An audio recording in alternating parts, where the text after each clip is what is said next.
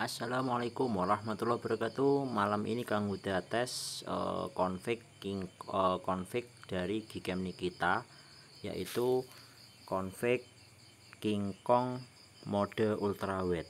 Ini sangat jernih sekali ya guys. Untuk hasilnya itu malam sangat sempurna. Uh, di device Poco X3 ini config King Kong ultrawide. Kita coba lihat ini tanpa diedit. Jadi hasilnya itu sangat jernih sangat mantap. Ini yaitu config ini posisinya gelap gulita ya. Jadi posisinya itu gelap gulita. Kita cek dulu hasilnya. Kita cek dulu hasilnya uh, ini ya guys. Hasilnya itu sangat jernih ini ya jadi nggak perlu ngedit lagi guys. Jadinya sudah jernih banget tanpa diedit pun sudah bagus. Ini adalah config dari King Kong Ultra Wet ya kita cek dulu. Sekarang kita coba mode ultra nya di malam hari. Ini Kang Huda pakai silikon nanti pasti ini warnanya nanti biru. Ini pakai silikon yang full ini guys. Kita coba aja ya. Pakai uh, mode ultrawidenya di malam hari. Kemarin sudah cek yang siang. Nanti usahakan kalau tes uh, mode ultrawide silikonnya dilepas ya biar nanti tidak bingkai. Biasanya itu uh, bingkai guys. Kalau enggak ada silikonnya ini yang mode ultrawide-nya jadi lebih lebar. Yang paling kanan itu mode ultrawide-nya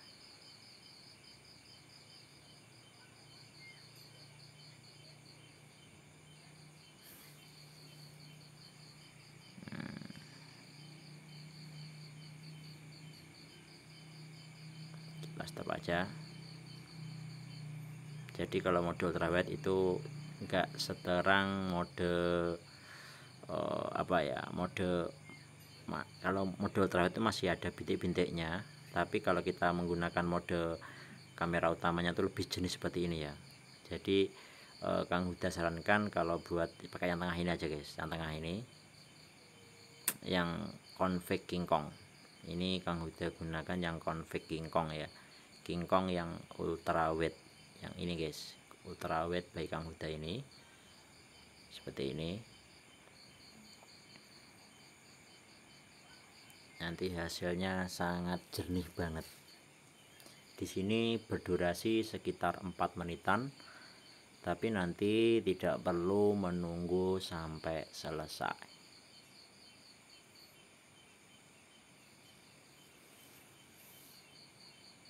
ini ya guys. Jadi config King Kong itu sangat jernih dan mantap di device Poco X3 bahkan ini di Redmi Note 9 pun sudah jernih. Jadi ini confignya global. Bisa digunakan di device MediaTek maupun Snapdragon ini posisinya sangat gelap.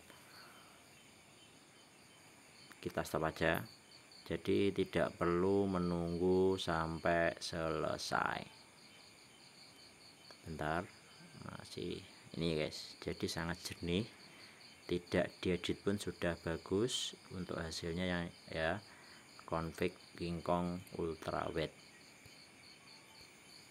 hmm. kita coba sekali lagi ke sana guys yang agak gelap. Jangan lupa nanti dibuat yang ini guys jarak jauh ya.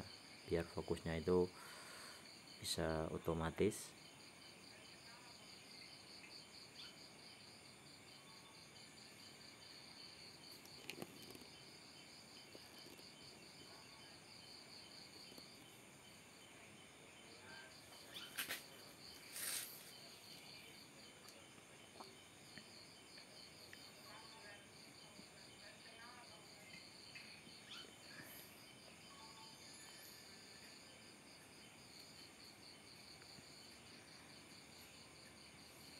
ini ya jadi warnanya itu uh, sangat sempurna dan tidak terlalu apa ya over.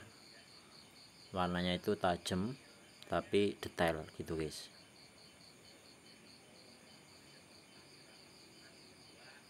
Kita tunggu dulu. Kita matikan aja nanti di menit 3.00 jadi tidak perlu menunggu sampai full 3 menit untuk waktunya jadi nanti e, untuk linknya nanti saya letakkan di bawah deskripsi video ya. Untuk link caranya dan memasukkan config nanti sudah ada. Kemarin sudah Kang Huda tes di mode siang bagus sekarang Kang Huda tes untuk mode malamnya. Nih tas stop aja guys. Jadi tidak perlu menunggu sampai selesai. Ini ya.